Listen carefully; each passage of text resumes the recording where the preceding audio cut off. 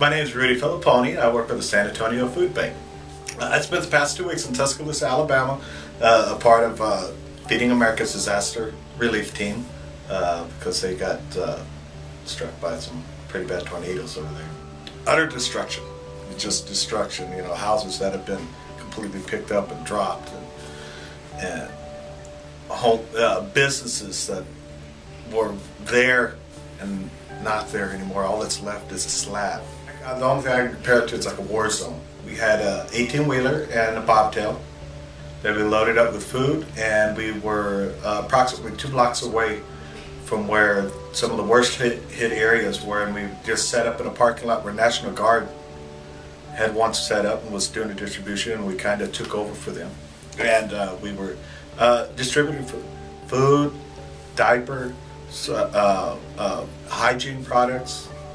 Our first distribution that we did, they estimated it was uh, they had about 250 families that went through there, gave out uh, over 65,000 pounds of food. Uh, that was in a seven-hour period. It, it was very, very humbling to know that what I was doing was helping people, you know, get by what little bit of, you know, uh, uh, normalcy. Uh, we, we had people that would drive up to us that weren't even picking anything up just to tell us thank you. You know, seeing these houses that were just that were just torn a, torn apart, and then all of a sudden there's a sign in front of one that said 14 survivors by the grace of God.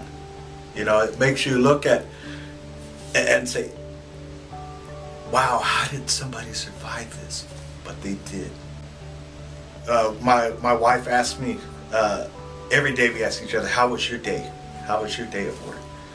And my wife will ask me, how was my day?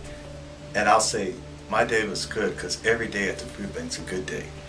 All I know is uh, if I if I'm called upon to to another, do another one of these disaster reliefs, I'm there.